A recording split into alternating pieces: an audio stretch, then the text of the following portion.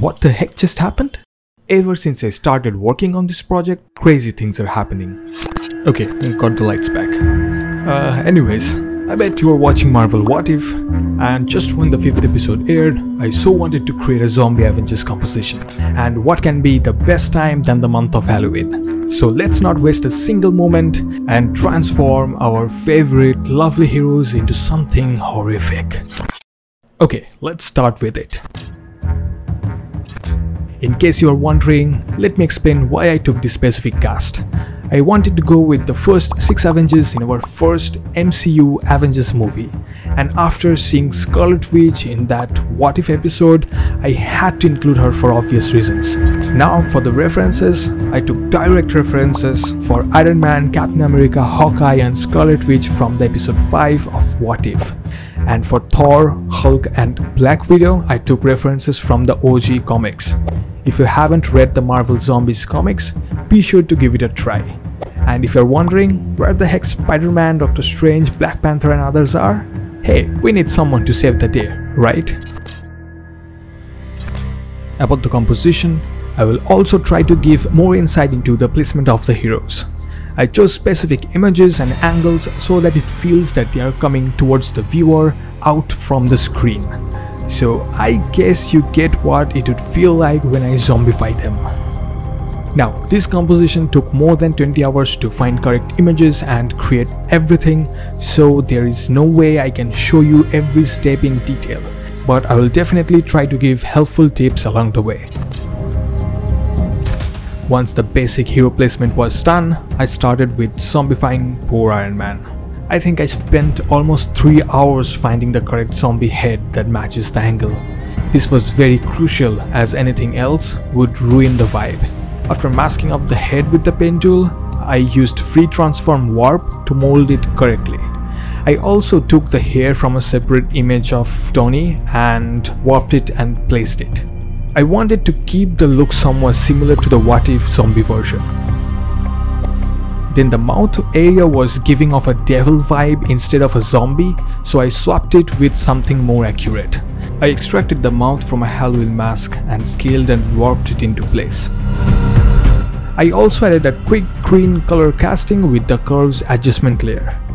Then I replaced the eyes with somewhat cloudy eyes from a Halloween mask. I feel I almost did a research on how zombies look while doing this composition. Let's proceed with the texturing on the suit. I put rusty metal texture and cycled through the blending mode to see what works best. And I think I kept them to hard light. Then I fill the layer mask with black and painted in correct areas with white to reveal the texture. I also suggest that when you do texturing like these, you cut out different areas based on the form of the main subject, which is the armor in this case, and tweak them a little. It's because a texture overlay has its own continuous pattern and it should vary based on the folds and shapes of the actual underlying object. I also color corrected the textures using hue saturation and curves adjustment layers. Then I put another texture of a cracked surface and gave it the same treatment. Well, I finally started learning curves and using them, so you would be seeing me using curves more often here. Okay, with Tony zombified, let's proceed with the other heroes. I will give them the same treatment so I'll not be explaining the same things again and again, it's just rinse and repeat. But let me mention here that I decided to change the head position and angle of Cap because firstly it was hard to find any zombie face at that lowered down angle and also I realized that zombies don't actually charge like that. They keep their heads straight up at the target when they charge as their main instinct is to bite or something like that. So it was a good idea to change the head. I think I spent almost an hour to fit zombie captain's head and face the way I wanted. Once satisfied, I placed some images of gashes and wounds and blended them in. It's very hard to find good zombie stock images for a big and varied composition like this, so I went all out and took anything that I found on Google. I primarily used curves to blend the patchwork. You should definitely see Piximperfect's videos on curves if you struggle with it. Curves are really really powerful if used correctly. Next I added some textures and battle damage on our cap.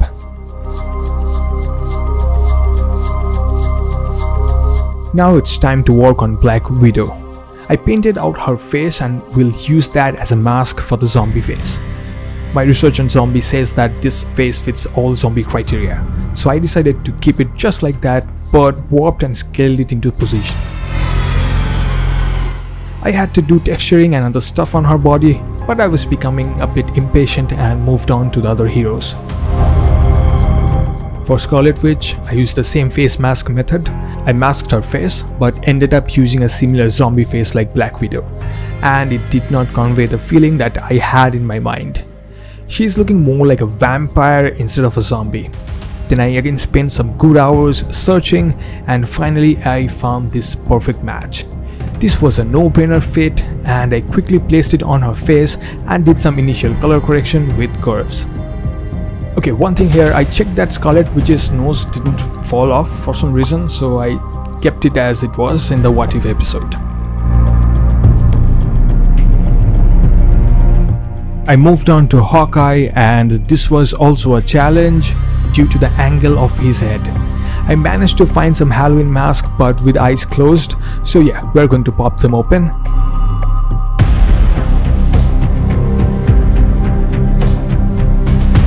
With the eyes placed and the nose fixed, I patched in some additional wounds. These are all from different Halloween mask images that I found online.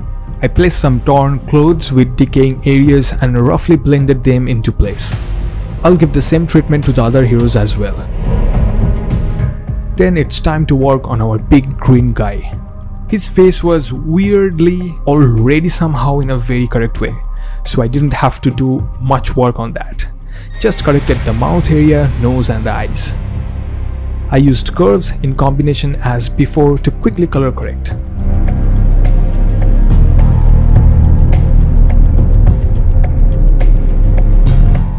Added some gashes and wounds as well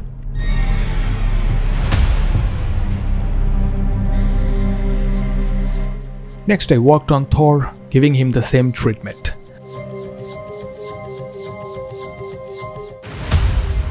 Now I'll give you an interesting backstory here. If you check out the comics, the zombie Thor lost his power and his worthiness, so he could not wield Mjolnir anymore. And he continued his rampage using a makeshift hammer built using a pipe and a cinder block. So I'll be creating that as well.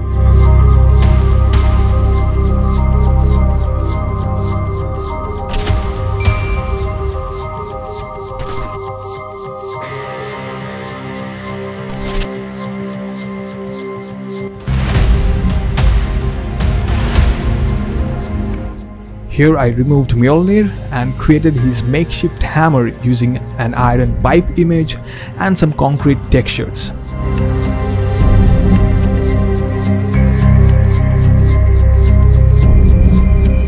Obviously I will add some lightning in the sky but it will be somewhat symbolic and for the sake of the environment.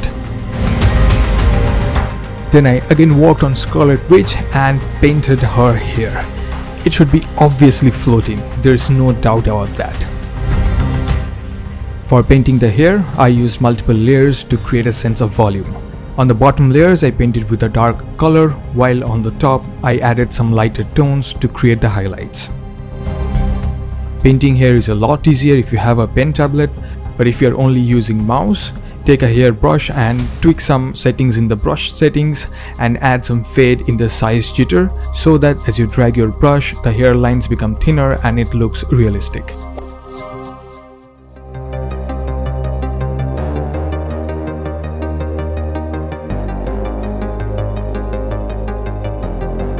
I patched in some dead decaying areas as well and worked to create the lower part of a dress which will be fluttering. I really liked her newest costume from WandaVision, so that was the way to go.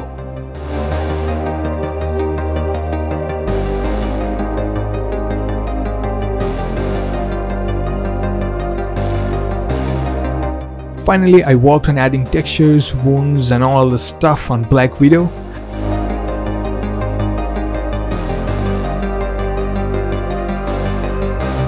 By the way, her eyes looked different from the rest, so I swapped them with the same image.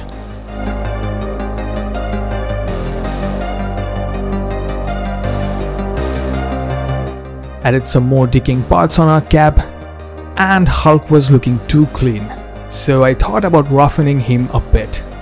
Oh, I forgot to add the broken dangling cap's helmet strap. I cut the strap at the joints and used the puppet warp tool to bend it and give it a dangling feeling. Also textured the shield and added some blood splatters. For the metal texture on the shield, I kept the textures blending mode to lighten and also played with the blend if section to get rid of the dark areas. Then on a layer mask filled with black, I painted with white with a grungy brush to only show the areas I needed. Same goes for the blood splatters, I warped it and tried to give it a feel that it sprayed on the shield in a spinning motion and then filled the layer mask with black and painted on it with white and a grungy brush to show only required areas.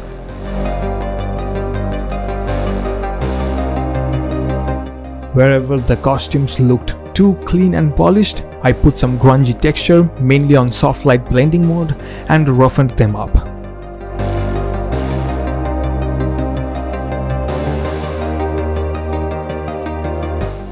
Finally, after spending ages turning 7 heroes into zombies, now it's the time to work on the environment. Let's go. I put some dark sky on the background and added some rubbles and debris to create the foreground. For the main scene, I chose some destroyed buildings to give it a zombie apocalypse vibe. The only thing that I had to pay attention to was to align the buildings in correct perspective. I also quickly darkened up the heroes using curves.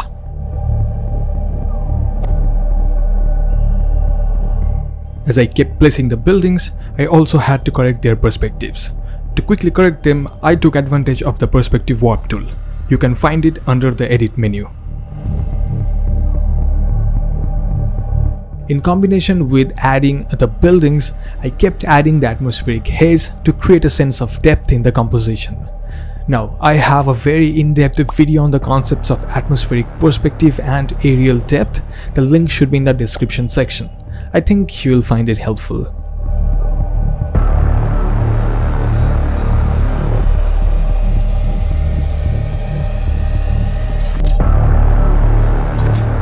Next I added the lightning and this will be our secondary source of light. By the way, I think you have already guessed what the primary source of light will be. I started painting the highlights on individual heroes. I used curves to brighten them up and clipped the adjustment layer to the hero group, filled the layer mask with black and painted on it with white to reveal the highlights. Well, up until now I've been ignoring Piximperfect's curves for a long time, but a video on highlights by Photoshop wizard Max Asabin really changed my outlook. I started exploring curves more, and the more I used, the more fascinated I became. Well, if you watch my other videos, you must already know I used to use solid color fills in linear dodge blending mode for the highlights and I have a dedicated video on it. I will add its link in the description as well, you can check it out if you want, but I think I'll also make a video on highlights using curves in the future.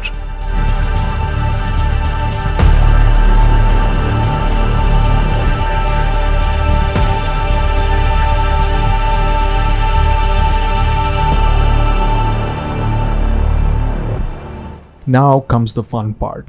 I added the hex magic on Scarlet Witch's hand and the red glow from it will entirely change the mood of her composition. I cycled through the blending modes to see what looks best and on a blank layer with the screen blending mode I also added some illumination and environmental glow. Now it's time for some action. It's time to light up everything in red. I again used curves as a clipping mask and tweaked it to get a bright red color cast. Then filled the layer mask with black and painted with white on the correct areas to get the highlights. The direction of the light is very important here to make the composition look realistic. I repeated the same steps of adding red highlights using curves on all heroes. I just had to pay attention to the direction of the light correctly. For the time being I'll just let you enjoy the process with some spooky background music. I'll come back to explain the other parts, just don't get jump scared when I start speaking again.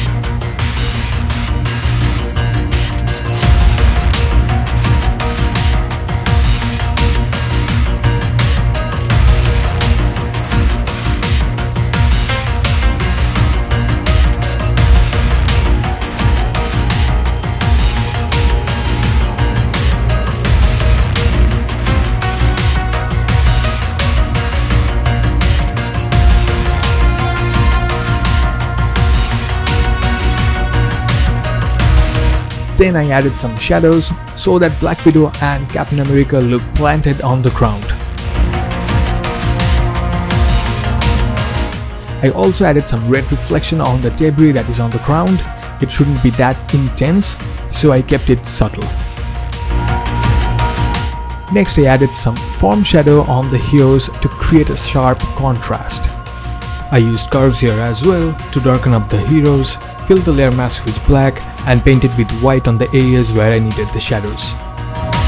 Time to make the glow on the repulsor and the arc reactor. I again used curves to create a bright light and masked it in required areas. I added some extra effects like lens flare and some flying debris. I took a bokeh image and added spin blur from radial blur to create the lens flare. I also added some extra smoke to add volume to the scene.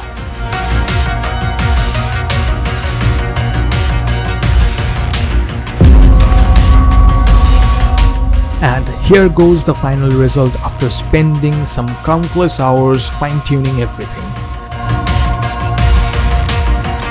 I worked a bit on the lighting, added some extra particles, added light bloom and motion blur, and added some grain.